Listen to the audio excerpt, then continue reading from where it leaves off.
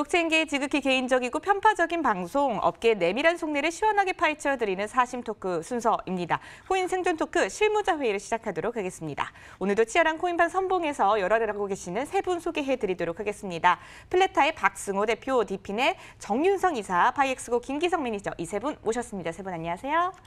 어서 오세요. 네, 오늘 이 세 분과 함께하는 2019년 블록체인 insight 마지막 방송이 될 것 같은데요. 지난주 올 한 해 블록체인 이슈들을 좀 돌아보면서 참 많은 일들이 있었구나라는 생각이 들었던 것 같습니다. 그래서 오늘은 지난 시간에 예고해드렸던 바와 같이 이제는 내년을 좀 준비해야 할 때이겠죠. 그래서 goodbye 2019, hello 2020이라는 주제로 함께 이야기를 나눠볼게요. 미리 보는 2020년 블록체인 전망은 어떤지에 대한 이야기 나눠보겠습니다.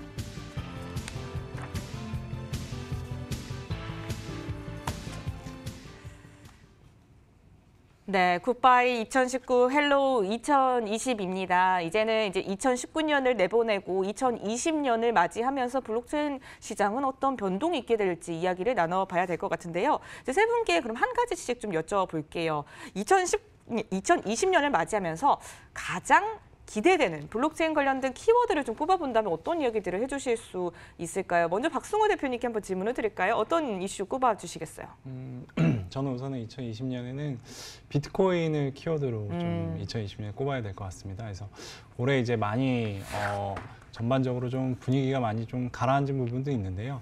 내년에 이제 비트코인 반감기가 어, 시작되는 부분도 있고 어, 제가 생각하기에는 내년에 이제 어, 거래소 부분들이 많이 좀 급변하게 될 것 같습니다. 실제 이제 정책이라든지 아니면 어, 실제 규제가 어, 현실화가 올해 이제 하반기에 많이 얘기가 됐는데 내년에 아마 현실화되면서 거래소에 이제 많은 영향이, 영향이 끼치게 될 거고 제가 보기에는 이제 생존하는 거래소가 좀 적어지게 되는 한 해가 되면서 아마 이제 비트코인 쪽으로 좀 이슈가 더 집중될 거라고 생각이 들고요.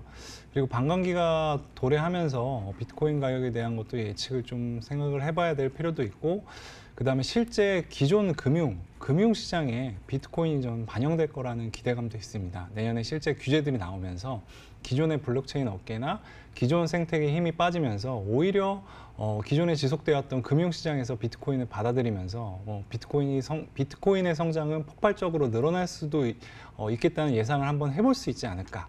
어, 그러면서 비트코인에 대한 기대감을 한번 어, 가져보는 것도 좋지 않을까라는 생각을 하고 있습니다. 네. 올해도 내년도 비트코인은 항상 화두에 있을 수밖에 없는 것 같습니다. 특히나 내년에는 비트코인 반감기가 예정되어 있어서 계속해서도 이슈가 되고 있는데요. 이 부분 한번 또 중점적으로 보시는 것도 좋을 것 같네요. 자, 다음으로는 김기성 매니저님께서는 어떤 뉴스를 좀 가장 기대하고 계실까요? 어, 저는 크게 두 가지, 물론 하나로 꼽을 수도 있겠는데요. 일단 저는 법, 그리고 음. 이제 그거와 연결되어 있는 금융입니다. 기본적으로 올해 같은 경우에 국내만 하더라도 이제 뭐 자산 같은 경우 이제 암호화폐를 직접 운영하는 사업체 같은 경우 무형자산 취급을 하는 내용이 있었고요. 그리고 암호화폐 서비스로 관련해서 거래소 이야기가 있었고요. 더불어서 이제 과세까지 이야기가 나왔습니다. 이런 것들이 이제 시행되고 또는 법안이 올라가는 건 내년부터거든요. 그래서 내년에 이제 법과 관련된 이슈가 많이 나올 것 같고요. 그 법 안에서 이제 있던 이러한 그 흔히 말하는 디파이죠. 그러니까 탈중앙화 금융 서비스들이 또 굉장히 많이 나올 수 있을 거라고 생각을 하고 있습니다. 그래서 법 테두리 안에서 움직이는 탈중앙화 금융 서비스들이 내년에 좀큰 화두가 되지 않을까 생각하고 있습니다. 네, 아무래도 법이란 부분은 또 항상 블록체인 시장과 빼놓을 수 없는 주제인 것 같은데요. 법과 또 법 테두리 안에 있는 금융이라는 또 주제로 함께 DeFi 얘기도 곁들여서 해주셨습니다. 마지막으로 정윤성 이사님께서는 블록체인 뉴스 2020년에 어떤 게 가장 기대되세요? 저는 이제 디지털 자산 그- 그러니까 이제 실자산의 음. 어떤 토큰화 이런 부분이 좀 기대가 되고 있고요. 지금도 국내에서는 이제 샌드박스의 어, 어떤 일환으로서 뭐 부동산을 이제 거래소를 통해서 이제 매매를 할 수 있는 그런 어, 사업도 지금 이제 어, 금감원을 통과를 해서 계속적으로 좀 진행을 하고 있는 그런 기업들도 계속 보여주고 있고요.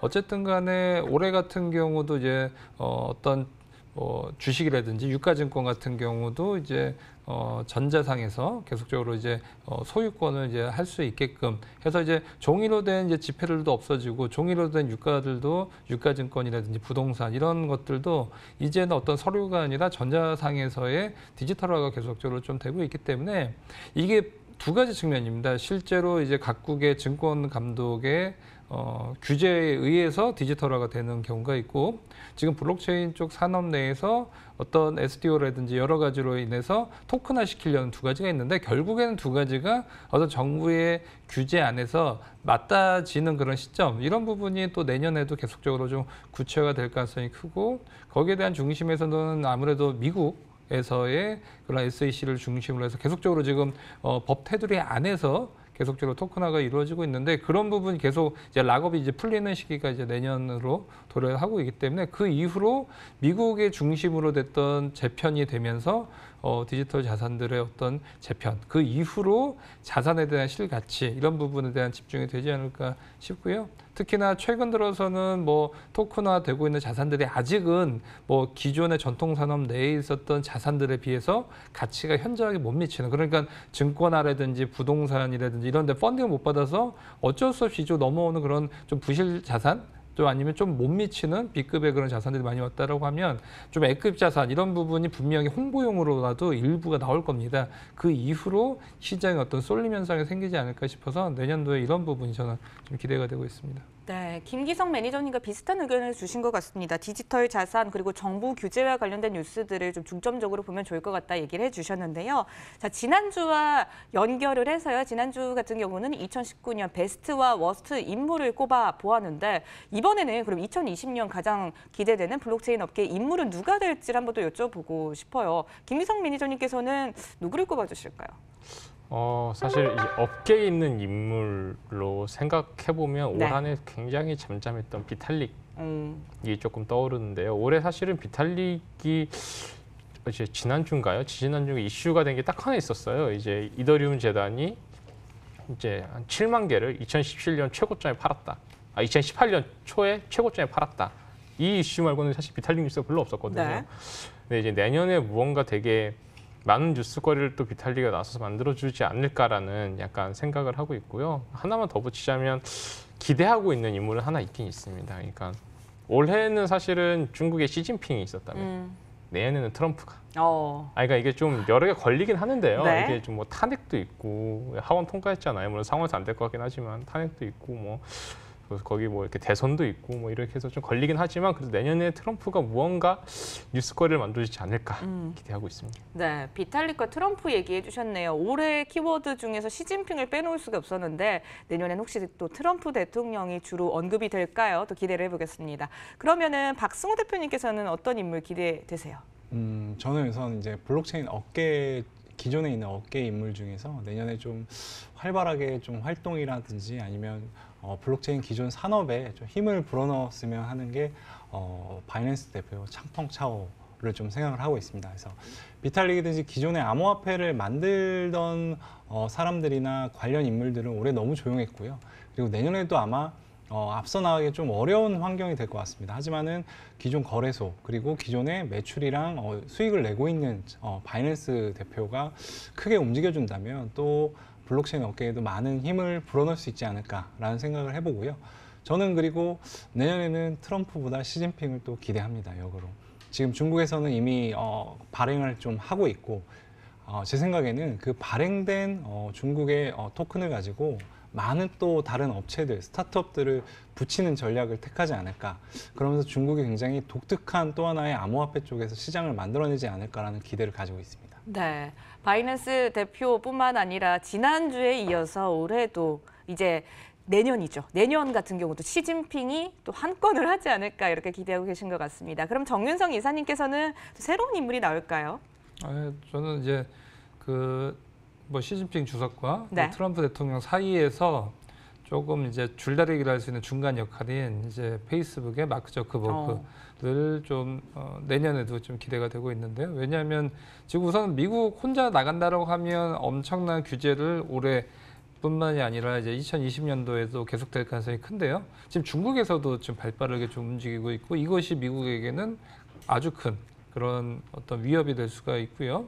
특히나 지금 중국에서 뭘 한다라고 하면 미국과의 어떤 신경전이 계속적으로 되고 있는데 이 부분이 결국에는 국가 주도의 암호화폐라든지 아니면 어, 거대 공룡 기업을 중심으로 했던 이런 암호화폐까지 지금 넘어가고 있기 때문에 여기 둘 간의 신경전에서 굉장히 유리한 자리를 차지할 것인지 아니면 어떤 그 정치권의 싸움에 휘둘리면서 결국에는 본연의 초기에 나왔었던 백서의 어떤 그림대로 가지 못하고 휘청이는 그런 모습을 보여줄지가 바로 내년에 좀 결판이 날 것 같기 때문에 과연 이제 전 세계인들이 주목을 하고 있는 그런 리브라 의 어떤 상용화에 대한 움직임 이 부분이 기대가 됩니다. 네, 마크 저커버그 같은 경우도 올 한해 아주 큰 이슈들을 좀 몰고 왔던 것 같은데요. 내년에도 또 기대를 해봐야 될 것 같습니다. 이제 그럼 2020년 블록체인 시장은 과연 어떤 방향으로 흘러가야 될지 세 분의 의견이 궁금해지는 시점인데요. 또 가장 궁금한 부분이 암호화폐 시장 흐름은 어떨까 이것도 궁금할 것 같아요. 김기성 매니저님, 시장 흐름 어떻게 예상하세요? 어우, 제가 이거를 예측을 하면 참 좋겠는데.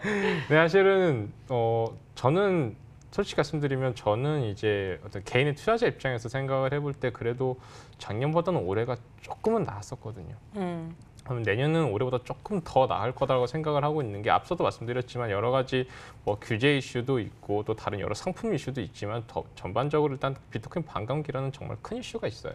이런 상황에서 물론 모든 사람이 아는 호재가 호재가 아닌 경우도 있긴 하지만 이 호재 같은 경우, 그러니까 비트코인 반감기 같은 경우는 직접적으로 비트코인 가격에 영향을 미치는 호재이기 때문에 굉장히 좋은 역할을 할 수 있을 거라 생각을 하고 있고요. 다만 여기에 있어서 흔히 어, 악재로 생각할 수 있는 부분은 이제 어떠한 법적인 규제가 마련이 되면서 세금이 부과가 되는 순간 이 세금을 피하기 위해서 시장에 이제 굉장히 다량의 어떤 매도세드가 생길 수도 있거든요. 네. 그러니까 호재와 악재는 내내 이런 식으로 크게는 움직일 수 있다고 생각을 하고 있습니다. 하지만 전반적으로 시장은 조금 더 커질 것 같고요. 파이는 커질 것 같고요. 더불어서 법 테두리 안에 들어오게 되면 결국은 세금을 걷는다는 부분이 되기 때문에 음, 이 세금을 붙이는 어떠한 산업 중에서 우리나라에서 장려하지 않은 사업은 단 한 건도 없었어요.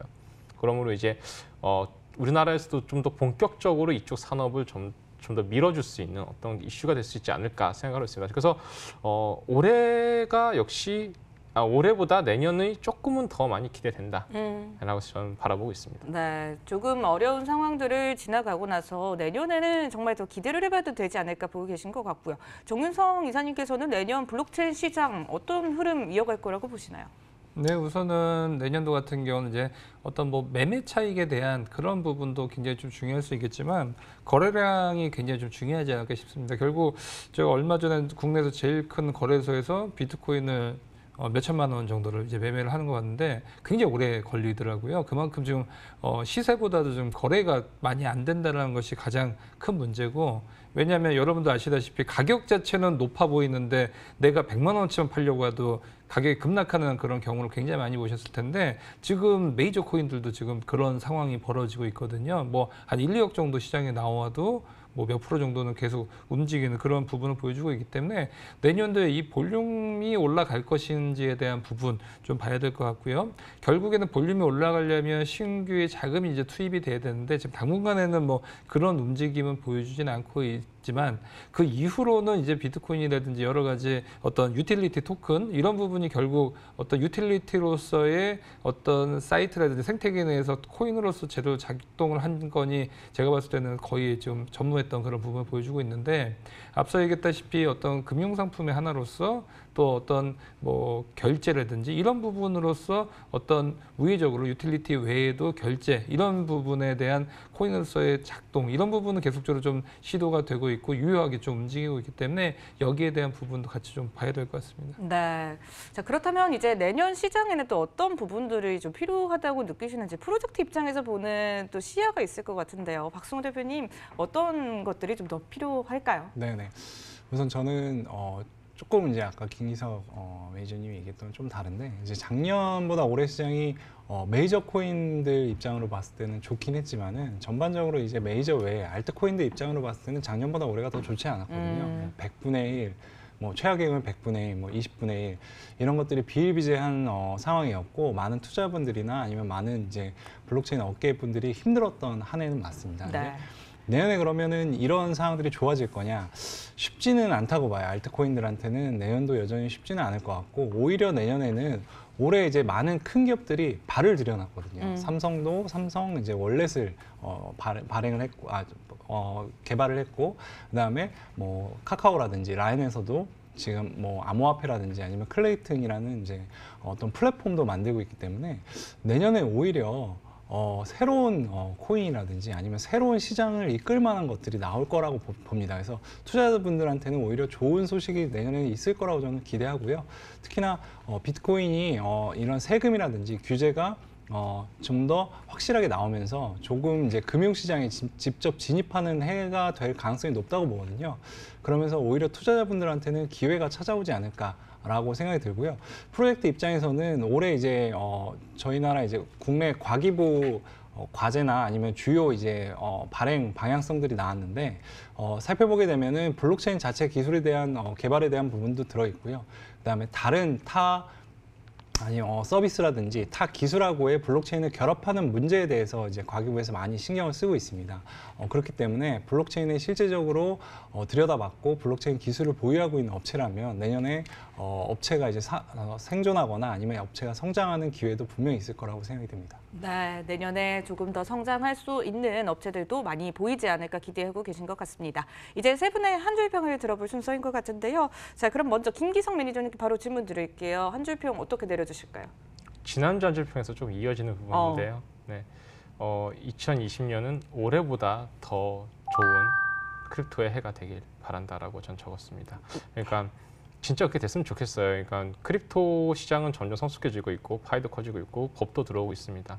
그러면 이제는 어, 정말로 양지에서 빛을 발하는 그런 때가 오긴 해야 되거든요. 네. 그래서 crypto의 해가 됐으면 하는 바람이 있습니다. 네, crypto의 해가 되길 바라는 마음을 표현해 주셨고요. 이어서 박승훈 대표님께도 질문 드릴게요. 한 줄 평 내려주시죠. 네, 올 한 해도 어, 블록체인 인사이트와 시청자분들이 많은 얘기나 아니면 많은 어, 이슈들을 공유를 했고요. 내년도 역시나 블록체인 인사이트를 보면서 어, 좋은 투자 아니면 좋은 어, 이슈, 좋은 사항들을 많이 듣는 어, 시간이 됐으면 좋겠습니다. 네, 너무 좋은 한 줄 평이지 않았나 싶어요. 올해도 내년에도 블록체인 관련된 소식은 항상 블록체인 인사이트와 함께 해 주시길 바랄게요. 마지막으로 정윤성 이사님은 어떤 한 줄 평 내려주실까요? 네, 2020년도 이제는 가자라고 말씀드리고 싶습니다. 이제는 그 어떤 국가의 테두리 안에서 계속적으로 좀 들어오고 있기 때문에 그동안의 움직임은 어떤 국가에서 봤을 때는 좀 미운 털 박힌 그런 시장이라고 본다라고 보면 2020년도부터는 이제 새롭게 도약하는 한 해가 됐으면 좋겠습니다. 네, 이제는 가자라고 해주셨는데요. 블록체인 인사이트도 내년에 실무자 회의 통해서 좀 보다 더 심층적인 이야기들 함께 전해드리도록 하겠습니다. 오늘 세 분과 함께 이야기 나눴습니다. 세 분 나와주셔서 고맙습니다.